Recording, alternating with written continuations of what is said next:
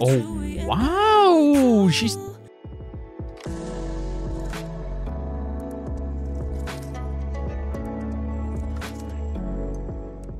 What's up guys, welcome back, my name is Shun and today we're going to reacting to Moonbyul's in My Room music video. So guys, we are back with another solo from uh, one of the Mamamoo members. This time we have uh, Moonbyul and I believe this is um, the very first solo music video we have from Moonbyul. So I'm guessing this is maybe, this is this her debut as a solo artist? I'm not actually sure uh, about that or if it's just the next one that is the uh, debut and this is just maybe like something she did while still not, maybe it's like a pre-debut thing. I'm not completely sure sure, but I really, really enjoyed uh, Moonbyul's Lunatic, which is her uh, most recent uh, title track, her most uh, recent music video. So I'm really excited to see uh, how her first uh, music video is going to be. So let's just get right into Moonbyul's in My Room.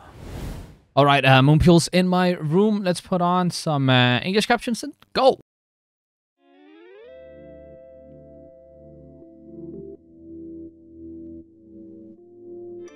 I don't know what era this is from like Mama Mamamoo's eras. Okay. you didn't kebab.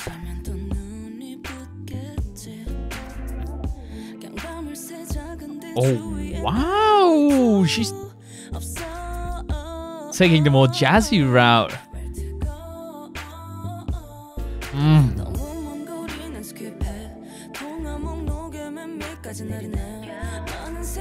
Love this uh, layered rapping. basically harmonizing, but in a rap. Mm.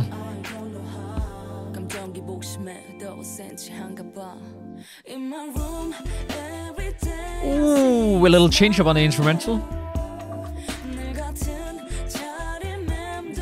Love the love how kind of groovy it is.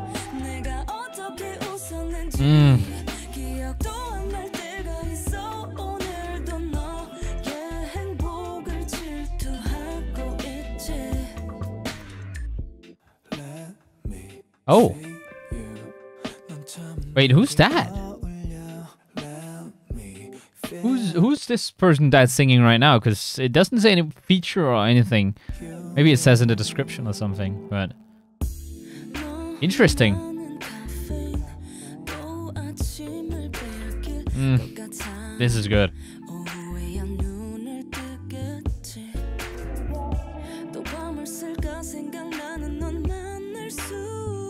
Oh, two two molecules. A a third one as well. That's that's pretty cool made. Uh, done. Pretty well done.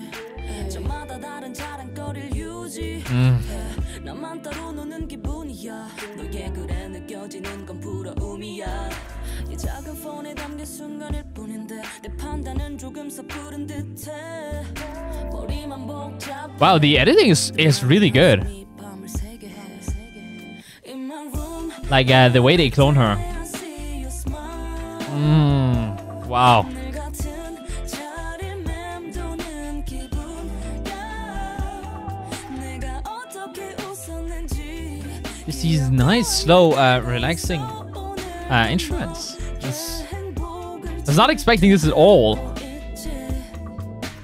Hmm.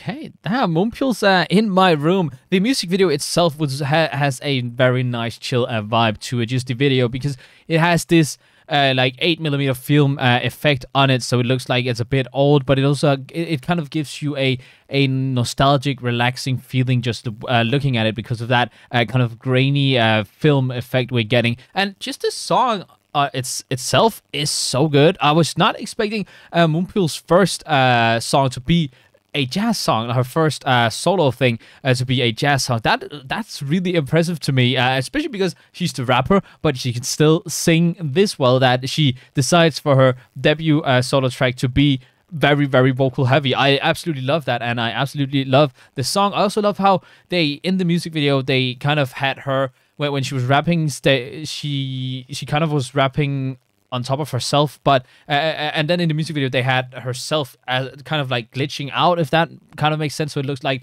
there was like an after image of her. That that really tied well in with that rap.